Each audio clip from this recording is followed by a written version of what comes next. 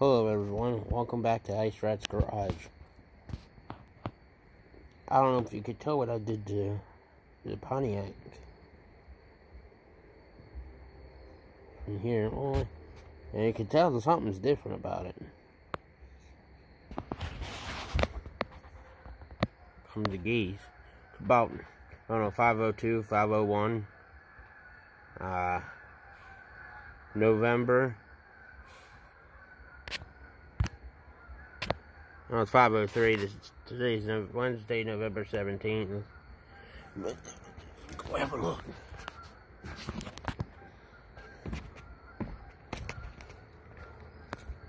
There's her neighbor that her house passed away in October.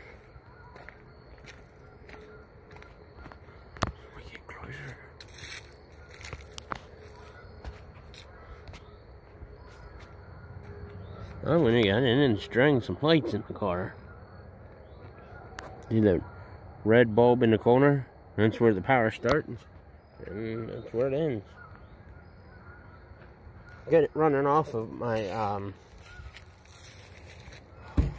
what do you call them thing? Battery backup, UPS.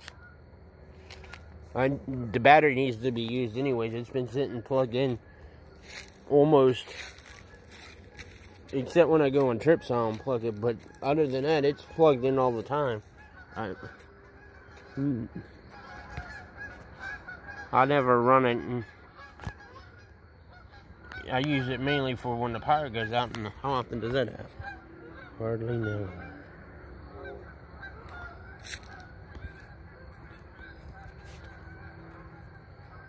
See, toward off towards the uh, driver's side the two yellow bulbs that are next together, and it's bothering the hell out of me.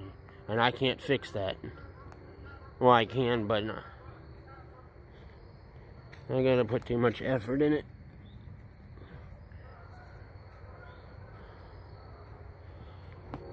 I'm thinking about adding an extra another set of lights.